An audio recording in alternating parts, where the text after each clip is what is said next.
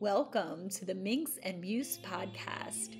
I'm your host, Crimson Minx, creatrix of Minx and Muse, a dark feminine playhouse where we awaken our innate magic through esoerotic dance and witchcraft. Welcome to the portal of enchantment. Welcome back to the Minx and Muse podcast. This is going to be our first real solo episode with me, which I would love to do about one of these solo ones monthly around our studio archetype of the month. So we at Minx and Muse monthly choose a new archetype that we're going to work with. And I always gain so much insight and wisdom and eureka moments as we work our way through the archetype in our classes and workshops and just studio discussions. And I thought this would be a really cool time capsule to start capturing all of these experiences around the archetypes. And also, I have tried doing this on social media, but I tend to be really long winded, which is not the right format for a social media. So, this longer form content I think is going to really be fun to work with. So, now that I got that out of the way, let's talk about the pleasure priestess. So, first and foremost, I'm just going to read what we presented as the embodiment of this archetype when we shared with all of our members at the beginning of the month. So the pleasure priestess prioritizes sensuous, embodied pleasure and chooses to fill their own cup before sharing their energy with others. They allow for self reflection in order to unearth their authentic, healthy desires and don't base these desires on societal expectations. They honor the difference between sensuous turn on versus numbing escapism and respect the power of feeling into one's body and all of its sensory experiences. They understand the difference between comfort and pleasure, and that one can experience heightened pleasure by moving beyond their place of comfort. They know that experiencing sensual pleasure is their birthright and part of living as a holistic human, and is therefore not something that needs to be earned. Instead, they embrace this dark feminine somatic energy and choose to embrace their body, titillate their senses, and enjoy indulging in life. And so when we present this archetypal uh, energy summation, we always also include a kind of the shadow aspects of of the archetype. So, in terms of the pleasure priestess, the pleasure priestess falls into shadow territory when they mistake pleasure for unhealthy, excessive, or addictive behaviors. When they allow sensory experiences to control them rather than support them, they have handed over their personal power. This is a form of nihilistic wounding and ultimately can disconnect them from their bodily and sensatory sovereignty. In addition, one is missing the mark with this archetype when they confuse disembodied disassociation with sensuous pleasure. Things like mindless scrolling or watching of black mirrors, aka screens, excessive consumption of things like alcohol, drugs, food, shopping, sex, etc., or choosing not to show up for oneself specifically when relating to authentic desires with the justification of self care are not forms of pleasure, but rather forms of avoidance and escapism. So that's the the official verbiage around the pleasure priestess. But I wanted to go into a few points that have arisen over the past month and get to go a little deeper. So the first thing that I was really wanting to hit home this month is that the pleasure priestess is concerned with pleasure as it pertains to embodied sensuous pleasure. So, a quick story I teach an intro to esoeroticism series, and the homework for week one is for always the students to, over the following week, do something that allows them to tap into their sensuous pleasure, something that they perhaps usually wouldn't do. I suggest things like ritual baths or rolling around in nature or cooking a indulgent meal or something in the bedroom. And I always lead with with. Remember this is a sensuously pleasurable experience. So if organizing your bookshelf is pleasure to you. This is not what we're talking about. But what i found that i needed to add on to that was this idea of let's make this experience a present embodied experience versus something that we turn to to kind of escape or get out of our body. And the example that kept coming up with students when I would check in the next week and they would say, Oh, I laid on the couch and I watched movies or Netflix and it wasn't what I was really looking for. Because here's the thing I'm not saying that those aren't relaxing activities, and I'm not saying that it's not a form of comfort. They absolutely are. But when I'm talking about pleasure, I'm talking about something that puts you in your body, allows you to like feel your body, feel emotions, um, as opposed to just being in our mind or beyond our mind and being in this form of like complete escapism. Now, again, no judgment cast on like watching films or things like that. I enjoy it myself. However, it was really interesting to see how people were able to easily confuse that and this idea of comfort being an exalted form of pleasure. And I know like pleasure can just be somatics and people could bring different definitions to the table. But what we're concerned about in Minx and Muse is embodied sensuous pleasure. And the idea of pleasure is that it can really allow us to energetically fill our cups and to connect back into our bodies after existing in a world where we can be constantly drained or having to prioritize our mind and our logic, um, whether that's through our work or raising families or just, you know, existing as humans.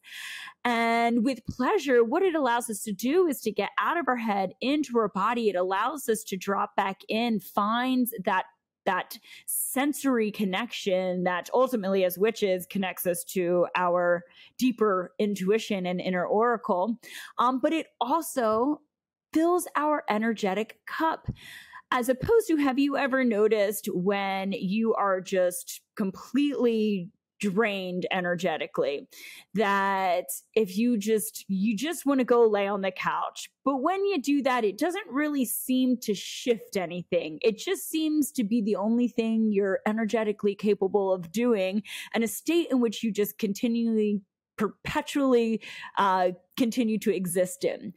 Um, whereas, and this is something that a lot of burnout experts will say um, that, and I learned this from my friend Karen, we were talking about this recently, that when you're in burnout, the experts say that as opposed to just blanking out, escapism, sc- mindlessly scrolling on social media, what you really have to force yourself to do is to get out of this comfort place or this ease place and push yourself to do something that you formerly enjoyed, something that will energetically feed you.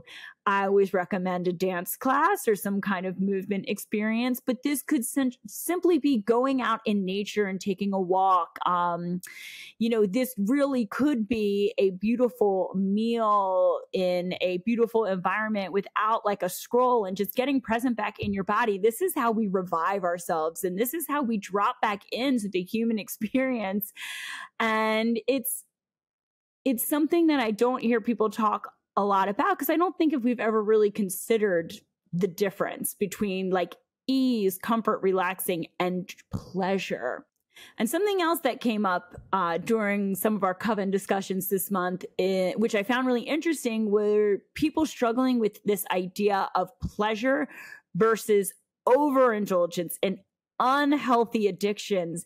Things like where do we draw the line between, oh, it's like within my pleasure to have like a glass of wine and a beautiful meal and to, you know, perhaps like have an intimate experience with myself or a partner versus like where does that get out of control? And where is it all of a sudden again i'm experiencing the numbing um I, I need it as opposed to i choose choose it.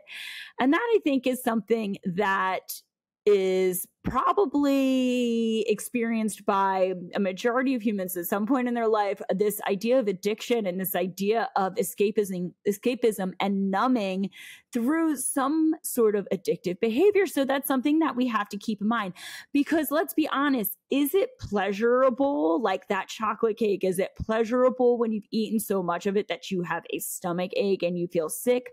Is it pleasurable that glass of wine when all of a sudden like you're wasted and stumbling around down is the sex pleasurable when it's something that you just have to experience and make your way through in order to get to like a means to an end or that you can't concentrate on other areas of your life and it's kind of controlling you rather you controlling it. So with pleasure, I mean, we have to tread lightly. We have to tread consciously, I'd like to say. Um, this idea of are we are we using pleasure as a form of escapism? Are we saying that oh it's pleasurable for me to avoid certain situations because in fact we'd rather just not put ourselves outside of our comfort zones? Um, are we using things like self care and, ooh, I'm listening to the pleasure of my body right now um, to avoid things that we truly do desire pursuing something that is like an authentic desire of ours. And it's again, conscious awareness. And I think pleasure can be so powerful, but it can be something that can be abused as well. And it's interesting to hear from a lot of our members how they thought this was just going to be an easy breezy month. Like, oh my gosh, I just get to experience pleasure all the time. But when we went deeper, as we do with our dark feminine energy here at Minx and Muse, we got to get a deeper reflection into, oh my gosh, maybe what I was perceiving as like pleasure wasn't that embodied, sensuous, healthy pleasure of the pleasure priestess. Maybe it was something that was way more unhealthy, way more addictive or escapist. And the last thing that I want to chat about is the idea of motivating oneself through pleasure. And this is something that's relevant to the studio because we have a lot of dance and movement classes. Um, and we even have, I would say this would apply to our mystical and our witchy classes.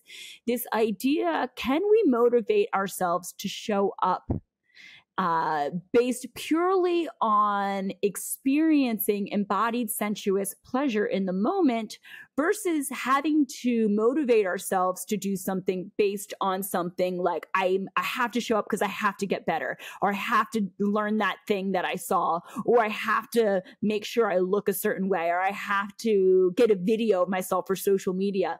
Those are actually pretty mainstream easy uh, I would say, masculine oriented ways to motivate ourselves. And of course, it's effective.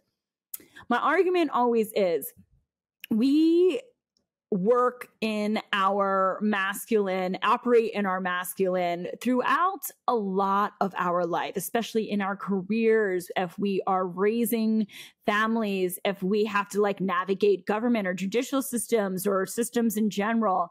And why are we then taking on hobbies that will further drain us and drag us into this further perpetuation of having to achieve or you know logic or linear or or judge ourselves through things? And I think it can be a really beautiful mindset change to prioritize pleasure in some of our extracurricular activities. Um, it's impossible to live in a state in pleasure all the time or in a state of pleasure all the time. And that was a question that actually came up in our online group, The Multiverse. And, you know, I feel like it, I can't stay in pleasure. Well, I think that's an, that's kind of a difficult expectation. We can't always exist in sensuous turn on, you know? But what we can do is, you know, navigate these non pleasurable areas and aspects of our life as best we can but what we can then do is balance out and and kind of re-energize ourselves by then through our hobbies our extracurricular activities or our intentions outside of these areas of our life prioritizing pleasure motivating ourselves to show up. For example for your dance class can you motivate yourself to show up simply to feel good in your body and feeling juicy in your movement? Can that be your prime motivator? And if not, why? And that can really help us reflect on maybe noticing what is most important to us in our life and maybe realizing habits that perhaps are holding us back from feeling just more because who doesn't want to feel pleasure, right? We may not even realize, oh my gosh, I have these opportunities to tap into pleasure and I'm opting out. So, these are just a few thoughts that I have had around the pleasure priestess this month. It's been a really deceivingly difficult archetype to really connect with and embody. And so, you know, I will share some of my favorite pleasure practices obviously sensual embodied dance for the sake of dance, for the sake of movement. Um, also, just being present and tapping into our body. If you can do some kind of self touch ritual, these are wonderful after baths or showers and doing like some kind of self massage or self touch ritual can just really help us ground in and feel. And always considering the sensory experiences around us, right? So, can we add like a scent um, or like a taste or um, some kind of texture that has more of a turn on factor to us. We actually, in our workshop, we have a master workshop every month around our archetype uh, for our multiverse virtual group. And we agreed that we were all going to light the good candles and bring out the good lotions and oils that we, for some reason, never feel like we can use because they're too nice and they're too good and we're being reserved um, in case for some very important experience in the future. So um, perhaps breaking those out and and incorporating those just into your your mundane routine. So just a few ideas. Movement and dance is always going to be my favorite to tap in and feel good. So um this is this is where i think i'm going to leave it. So i would love to hear your thoughts on this these solo formats. I'm always here for requests, but very different not having someone to chat to. So thank you for your grace as I'm figuring this all out. And hopefully there will be many more to come. Have a pleasurable rest of your morning, day, evening, whenever you're watching or listening, and stay in your magic. And I'll see you next time. Mwah. Thank you for joining me for the Minx and Muse podcast. You can find show notes and learn more about the studio at www.minxandmuse.com. As a reminder, it is our birthright to transform, expand, and safely exist as sensual, conscious, and empowered creatures. I'll see you